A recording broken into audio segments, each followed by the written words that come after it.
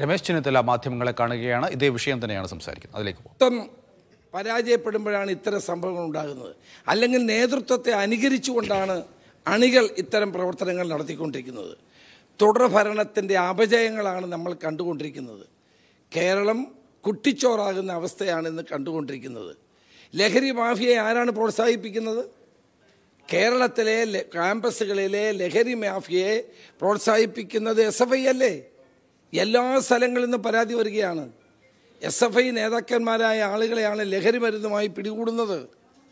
അപ്പോൾ കേരളത്തിൽ എന്ത് ഏത് തരത്തിലുള്ള തെറ്റായ പ്രവർത്തനത്തെയും ന്യായീകരിക്കുകയും അതിനെ പിന്തുണയ്ക്കുകയും ചെയ്യുന്ന നേതൃത്വം കൊടുക്കുകയും ചെയ്യുന്നൊരു പ്രസ്ഥാനമായി എസ് എഫ് ഐ മാറുമ്പോൾ പാർട്ടി നേതൃത്വത്തിനും ഗവൺമെന്റും നോക്കുകുത്തിയാകുന്നത് ശരിയാണോ?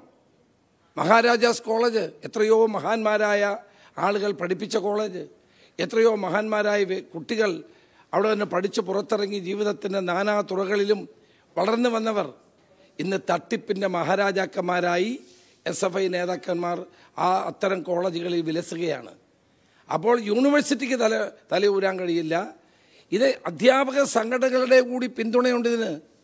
സി പി എമ്മിന്റെ അധ്യാപക സംഘടനകൾ കോളേജുകളിൽ എന്ത് വൃത്തികേടും ചെയ്തു കൊടുക്കത്തക്ക നിലയിലാണ് ഇന്ന് പ്രവർത്തിക്കുന്നത്. അപ്പോൾ ഈ ഉന്നത വിദ്യാഭ്യാസ രംഗം വലിയ തോതിലുള്ള ഒരു പ്രതിസന്ധിയെ നേരിടുകയാണ്. ഡിഗ്രിക്ക് വിലയില്ലാതാകുന്നു. വ്യാജ ഡിഗ്രികൾ വ്യാപകമാകുന്നു.